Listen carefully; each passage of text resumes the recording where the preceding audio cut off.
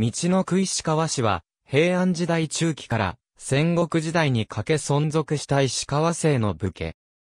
本姓は源氏。家系は、姓は源氏の一流、大和源氏の一門、源、頼近の古源来園を祖とする。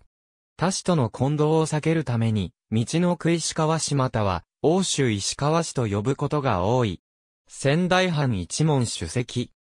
永正6年、来園は、この友好と共に、陸奥守源頼近に従って、欧州に下校、全9年の役に従軍した。栗屋川に戦死した来園に代わって有光が軍を指揮。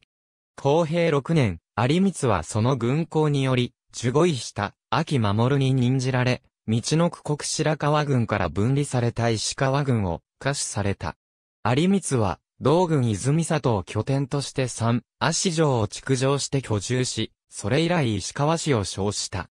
第六代広木は、伊豆で、源頼朝が、平家討伐の兵を挙げたことを知り、寿永二年、おじ公人率いる軍を鎌倉に送る。文治四年、欧州藤原氏攻めのために、白川関に至った頼朝は、石川の地にある、川辺八幡宮に戦勝祈願を行い、三日間の滞在後に、伊達軍圧、柏山の戦場に向かった。欧州を平定し、外戦する途上で、神領を寄進した。第13代時光は、新田義貞による、倒幕の軍に、長子義光率いる軍を従わせて、現行3年、鎌倉幕府が滅亡して、兼務の申請がなると、上洛して、新政権から受護位した宮内大輔に、翌兼務元年に14位した大前大部に任じられた。しかし、鎌倉幕府との結びつきが強かったことを理由に、新政府に冷遇され、第14代貞光の時、陸奥守北畠昭家は、古来から石川氏が治めていた領地を、結城市淡路市に与える。貞光はこれを迎え撃つために軍を挙げるが敗れ、兼務2年に、足利高氏に従って、北朝方に属した。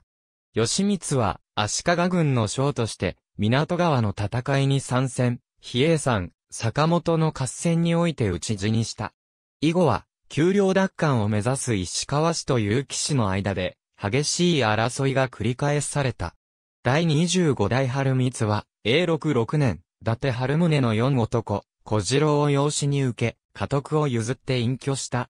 第26代秋光は、天正18年、豊臣秀吉による小田原征伐に参陣しない、伊達政宗をはばかって自らも、援軍の派兵を見送った。しかし秀吉に恨まれ、欧州正気によって領地は、蒲生氏里に与えられることとなった。老臣、溝井義信は秀吉に対して、威信のないことを鮮明することを主張するが、秀吉軍が迫る中で賛同する者はなく、ついに、伊達氏に仕えることを余儀なくされた。溝井は一人城にこもり、火を放って自陣した。伊達家に仕えた秋光は、慶長三年、伊具軍各大一枚二千国の領主となり、石川家の秘書である長泉寺を石川から移し、守護神である八幡神を石川から勘定した。この時、一族の中には秋光に従い、角田に移った者と、刀を捨て農民、商人として残る者とに分かれた。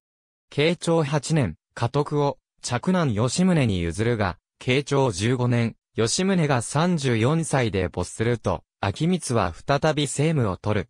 その後、石川家は、伊達家臣の最上位である、一門の主席として、角田に要害を構え、代を重ねるごとに神殿を開き、治業は二万千国に達した。この家系は、角田石川家と呼ばれる。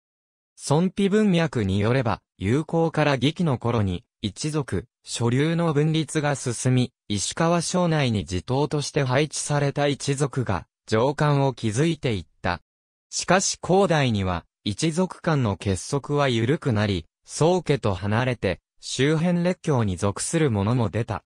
主な道の奥石川市の士族大事、よもぎた、蒲田、赤坂、矢吹、なめ、つ、中畑、坂地、沢田、小高、川尻、矢沢、杉釜、牧、交換、沢井、相良、塩田、大島、水野屋、板橋、古内、大館など。ありがとうございます。